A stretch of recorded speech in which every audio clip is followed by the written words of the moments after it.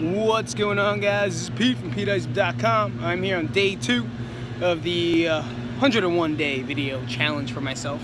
And I got a story for you. So yesterday, I want to do something super nice for my wife. So um, I got movie tickets online, went to Fandango, did a little Rotten Tomato check to see what movies are out. And there was a movie that I saw that uh, I know she likes and she always wants to see and talks about and even kinds of jokes with me. Like she'll text me the the the name of it and then like a picture.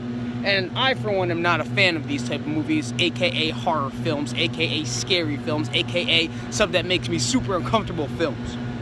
But I want to do something nice for her and at the same time do something that would step me out of my comfort zone, right? Really making me uncomfortable. And I'm not gonna lie, guys, I kind of didn't buy those tickets a thousand times online. But then I keep thinking, what what's it for? It's for her. So I go on, I purchase the tickets, and I do a little whole, you know, date date thing. I write a note where it says, will you go to the movies with me, circle one, and she didn't do it. She's an asshole for not doing it. Um, so kind of, she never answered, I just took her out.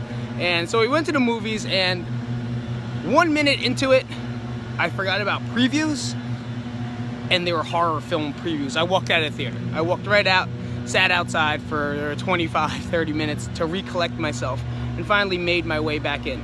Now, I don't know about you guys, but whenever I watch horror films or anything of like that's creepy, I don't like it. Like it's something about it, not that it's scary, yes it is scary because my brain is super overactive and I keep overthinking things and I have anxiety. But there's something about horror films that make me feel dirty like in a in a really bad way. Like you know when you if you guys are dog owners and you, if you have a dog and you pick up the dog, I'm sure this happens to some of you guys. When you pick up the dog shit, right? And then all of a sudden the bag breaks and your finger gets into the poop, like the shit. Like that's how my body felt, like inside. Like I was trying to do a good thing, be really clean about it, and all of a sudden it ended up feeling really shitty. And that's exactly how I felt for the rest of the day. And like I tried, I tried, I tried, but the point of the story is that no matter what you do, no matter what it is, sometimes there's just some things that you got to really think about yourself, you know, and not allow other people's logic or opinions or ideal affect yours. And, you know, I did it for her. So I don't want to say that I did it um, to make me feel better.